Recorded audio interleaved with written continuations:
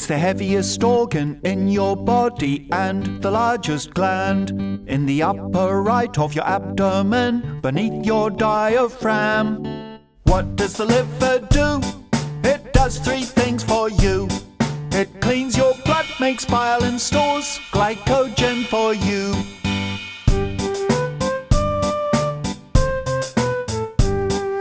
Blood from the hepatic artery and portal vein flows through tissues in the liver and out again. What does the liver do?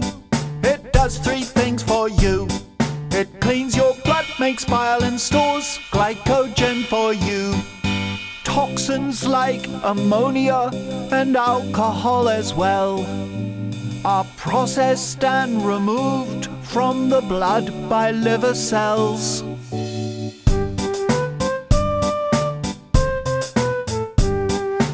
Bile's a useful substance produced by the liver that helps you with digestion by emulsifying fat.